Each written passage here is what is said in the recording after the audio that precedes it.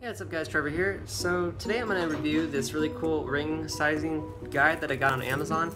Uh, when I went to go get married, I needed to get a ring and I ended up getting a great ring from JCPenney. Um, but before I bought this ring, I actually tried to buy a few rings on Amazon and I didn't know what size uh, finger that I had. So I used this guide to go uh, and look and figure out what size ring I needed and it ended up actually not quite working out as well as I thought it would. I think the guide is right but the rings that Amazon is selling are a little bit off and so it's hard to find the right ring when you don't have it to try on it in person. I've tried a couple different sizes and then I just ended up not liking the style because instead of a, flat surface ring like this one is, I don't know if you guys can see it but it's a very flat surface, um, I ended up getting rounded surface rings and they tend to bug a lot more on your fingers um, and they kind of impact a little bit more so I didn't like that as much. But anyway I'm gonna review this and show you guys what I like about so it. So here's the guide and this is really simple to use. You just have to look and see what the size is on any particular one of these little spindle things and it shows it right there kind of at the bottom of it so that's a 6 maybe it's a 9 I think it's a 9 yeah I think I'm a 10 so so I found the 10 and as a wedding ring the 10 size actually fits just perfectly. Um, it's not too much if I squeeze together, it doesn't hurt. Uh, it kind of blocks it as it's coming off a little bit and it's fairly easy to take off. So again, the sizing kind of changes from ring to ring. This ring was a 10 and a half, I think.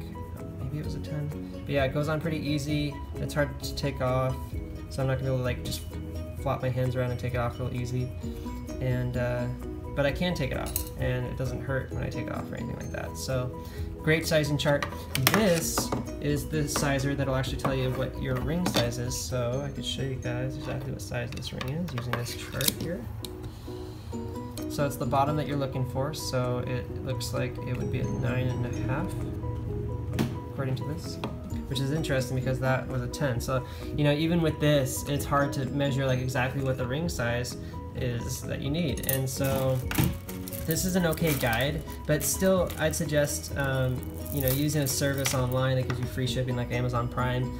Um, well, I mean, with, uh, free returns because if you get it and it's the wrong size, it might cost you more money to take it back. I was gonna order from a, a smaller website and then I realized the return policy wouldn't give me free returns, so Amazon ended up being a good deal because I was able to return the rings for free, and I got the one I needed, the one I liked the most with the diamonds on it at uh, JCPenney in store.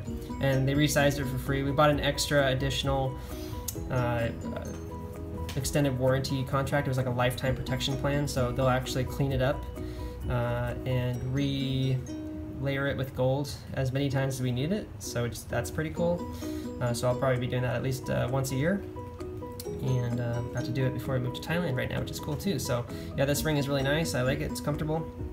I've not ever been a ring guy before I got married, so this was definitely a big step wearing something like this. And I don't wear it 24/7. I usually take it off uh, when I'm at home, but I take it, I put it back on when I go out, and I never try to wear it when I'm out skateboarding anymore because uh, it's dangerous and I could pop a diamond out. Even though the protection covers missing diamonds, um, I still don't want to deal with that. So I have a little place for it here, and there it stays. So that was my review of this great ring sizing chart on Amazon. I'll give you guys a link in the description below, and if you use that link to buy it, you'll be supporting me and my channel, and I do appreciate that. So definitely subscribe to the channel, like and comment if you have any questions, and good luck buying the right ring for you.